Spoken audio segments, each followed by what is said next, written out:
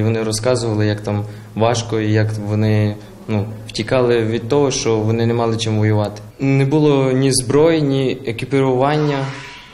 Вони тікали просто полем зимою в одних штанах і все. Це митець Роман Леськів розповідає про друзів зі свого села, що були в АТО. Тоді вони зібралися всіма односельчанами і закупили хлопцям бронежилети, берці, однострій. Тепер роблять щось схоже та великим художнім колективом. 40 митців зі Львова, 30 з Києва виставлять свої роботи на благочинній виставці продажу в палаці мистецтва 13 грудня. Серед них професійні і аматори, навіть колишні бійці з Луцька. Бійці АТО були на реабілітації, е, робили ікони, і вони їх виставляли зі своїми переживаннями. І от пару робіт вони е, також хотіли е, долучитися до нашої виставки передати.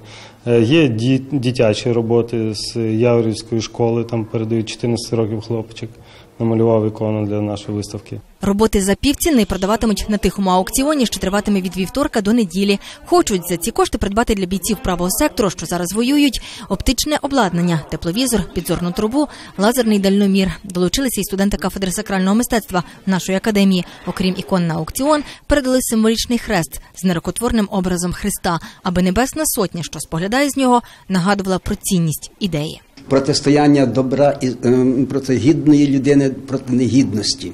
Власне, то як так знаменується революція гідності, і практично всі ці хлопці, які лишилися живі, на з Майдану практично почали формувати ці батальйони, загони, які стали в обороні нашої держави проти агресії Росії. Оксана Синишин, Юрій Герасимов. Головні новини Львова.